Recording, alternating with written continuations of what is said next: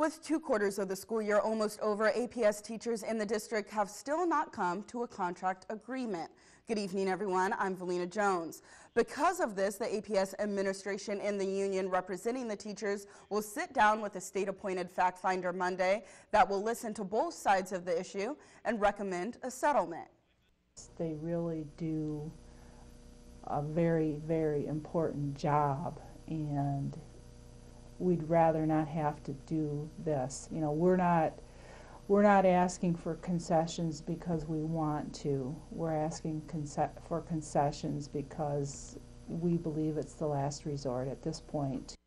Teachers have been working without a contract since August when the district asked them to take a 10% pay cut for the next two years as a part of their deficit elimination plan. After receiving the recommendation from the state's fact finder in February, teachers and administration will have 60 days to work towards a solution. If teachers do not agree to settle, APS would be able to impose a contract for teachers to work under until a final resolution is made.